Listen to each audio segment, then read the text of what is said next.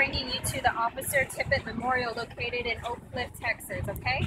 And we just wanted to show you the memorial because a lot of people don't know that Oswald in his journey um, also shot a Dallas police officer. Right behind me is the memorial dedicated to him and his family.